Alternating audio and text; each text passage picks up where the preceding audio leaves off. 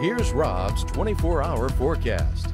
Well, a little bit more of a summer-like scenario today. Temperatures starting out in the mid 70s, reaching the lower 90s, then scattered tropical showers and thunder showers pushing on through, bringing our temperatures back down into the low to mid 80s. Now back into the mid to upper 80s as most of the shower activity today is moved off into the northwestern sections of Acadiana. We see that on Power Doppler 3. Not a whole lot going on. Some action over toward Baton Rouge. And right now, most of the shower activity that we're seeing up across extreme northern portions of Evangeline Evangeline Parish, Southern Rapides, Northern Allen Parish, and then uh, the western, southwestern parishes of Louisiana. We'll take a closer look at the Doppler radar in the main weathercast. Things quiet down tonight, maybe an isolated shower down by the coast by daybreak, and then tomorrow, a sun and cloud mix, scattered tropical showers and thunder showers into the afternoon hours, and it's repeat and rinse as we head into Sunday. But at least we're seeing a little bit more sun, but that's also getting our temperatures warmer during the day. Overnight tonight, temperatures dropping down into the mid 70s. Your rain chances 20% or less overnight.